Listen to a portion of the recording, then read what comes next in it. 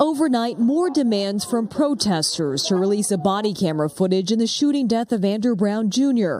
The calls also coming from family. My nephew did not deserve that. Say his name.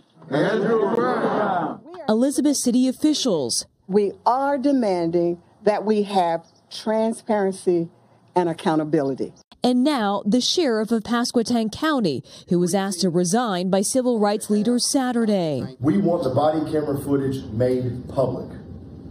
Some people have falsely claimed that my office has the power to do so.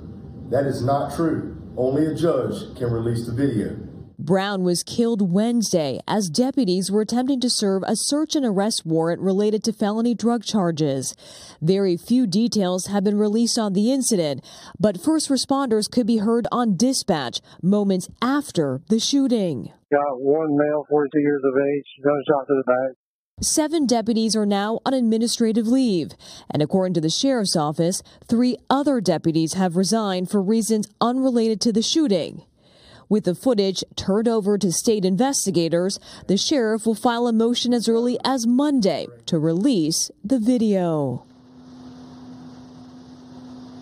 And we have learned that an outside sheriff's office will be coming in to review the incident and question all those involved. The focus will be to see if any sort of disciplinary action will need to be taken. Willie?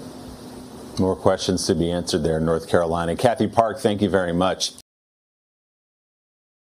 Hey, thanks for watching our YouTube channel. Find your favorite recipes, celebrity interviews, uplifting stories, shop our favorite deals, and so much more with the Today app. Download it now.